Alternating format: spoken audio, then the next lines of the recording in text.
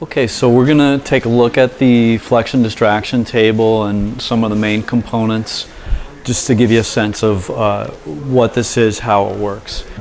With flexion distraction decompression, the patient usually lays face down. You'll see that uh, while I'm treating a patient a bit later in the segment. But the key features on this table are that it's, first of all, it's very comfortable for the patient.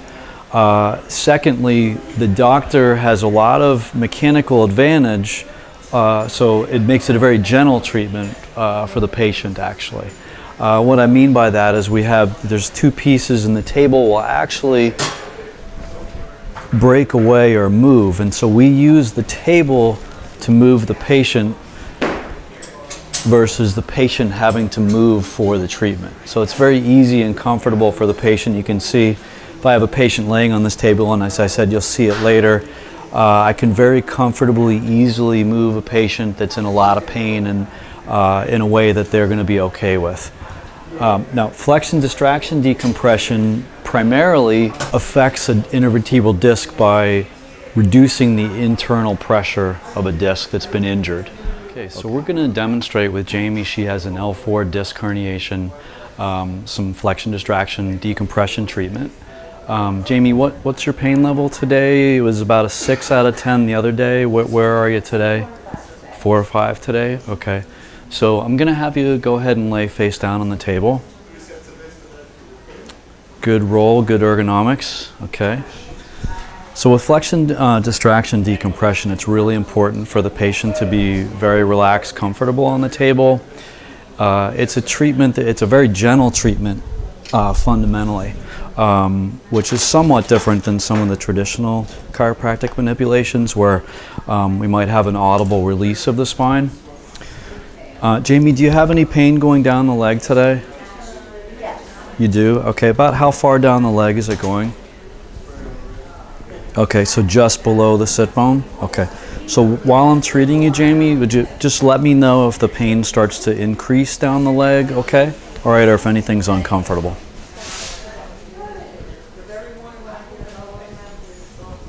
And the first step is for, like as I said, for the patient to be really comfortable on the table. Uh, anyone who's had a disc injury knows that it's a really acute pain and just the slightest change in position can be very uncomfortable. Okay. So Jamie, any increased pain in the back or the leg as I press down there? No. Good. Tender right there, Jamie? A little. A little bit? Okay, more or less here? Less, okay. So I'm going to start at L5 with Jamie. She does have an L4 disc herniation. We're going to start just below the level that's a little bit more tender. And the really nice thing about this treatment, Jamie will tell you, it just feels like a really nice, gentle stretch. Now, Jamie, are you okay with that pressure? Yeah, great. Feels good? Okay, great. So she'll, great. And the key is I'm just stretching and opening up Jamie's L5 disc level enough that we're creating what's called a negative pressure inside the disc. And that negative pressure, as I mentioned earlier, is how we get fluid and nutrients to flow back into the disc. And that, that's fundamentally how we get a disc to rehydrate and we start the regeneration process. It's feeling good, Jamie? Yes. Great. Awesome.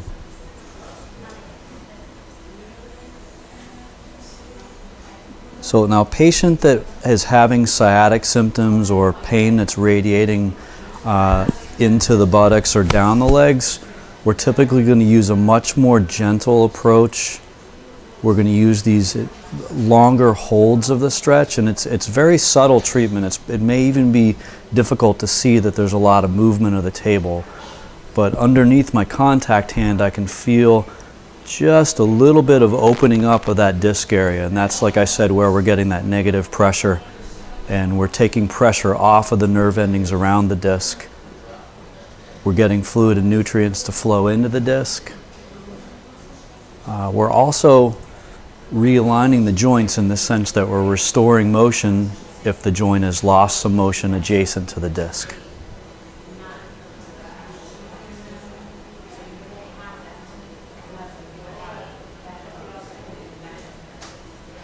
Good. So Jamie, I'm gonna move up to L4. It was a little bit more tender there. So just let me know if the pressure feels uncomfortable, okay? So we're, we're moving up to L4. L4 is the primary or the involved disc for Jamie. Um, she has more of a central to left uh, disc herniation at that level. And um, it's actually creating uh, what's called foraminal stenosis. Basically, what that means is the, the disc part that's herniated is going into the space where the nerve exits out on the side of the vertebra and then forms a nerve plexus that goes down into her sciatic nerve. Okay, so by applying that gentle opening up force or decompression right at L4, we're actually opening up the space of that nerve foramen. Jamie, is that, is that comfortable pressure? It feels okay. Is it a little tender there? A little. A little bit. Okay. Let me see if I can make it a more comfortable. Is that a little bit better? Yes. Okay. Great. So research on uh, flexion, distraction, decompression has actually shown that you can increase the space in that nerve uh, nerve foramen by up to 28%, which is actually amazing when you consider uh, disc herniation can almost completely occlude that space. And so while I'm applying the pressure, we're, we're literally opening up that space for the nerve. A really big component of uh, rehabilitating the spine when you're treating a disc herniation is core strength and core stability. That's feeling okay, Jamie? Okay, great. So, Jamie, I'm going to get into some side movements to your right. And if, if you feel any change in the symptoms going down towards the left sit bone, let me know, okay? Should just feel like a good stretch. We're just going to open up that left side a little bit more, okay? That's okay? Great. So you can see from watching, I hope, that this is actually, it's a very specific but a very gentle way to actually manipulate the spine as well as decompress the disc.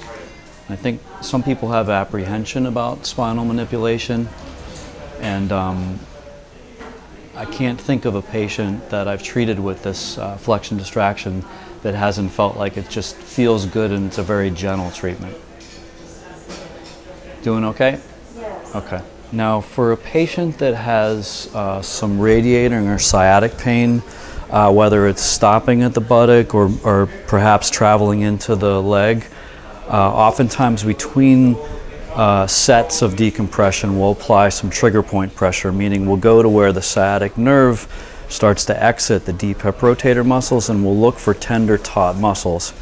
Uh, Jamie has one in the piriformis muscle right about here. And so part of the um, standardized protocol is between sets, you'll just apply gentle pressure, similar to acupressure, to those trigger points along the sciatic nerve. So I'm going to do some, perform some of the now with Jamie. Pressure's okay, Jamie? Okay. And you can feel she has a little bit of a trigger point right, right here. A little sore there? Yeah. Yeah, and so these three points are re- very commonly associated with an L4 or L5 disc herniation. Uh, and as I said, they, they, they correspond with the sciatic nerve distribution. And the, the primary contributors to the sciatic nerve come from the fourth and fifth lumbar. Okay, so Jamie, I'm going to come back to L4. We'll do just a few more repetitions, and then we're going to get you to do some exercises for your core. And then I'd like to apply some ice and some stim, okay?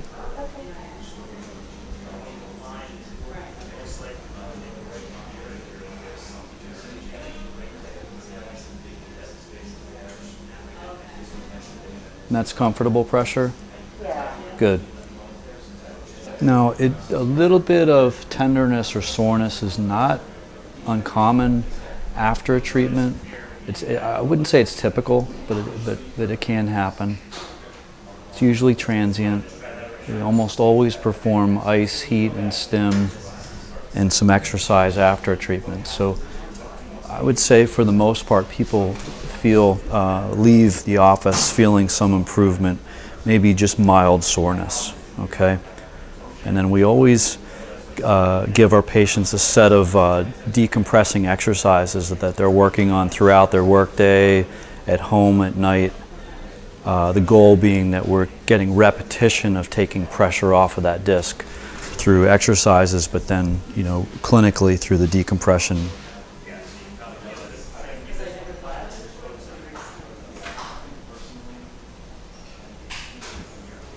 Now that feels a bit more mobile right there. That's feeling pretty good. How's that feel, Jamie?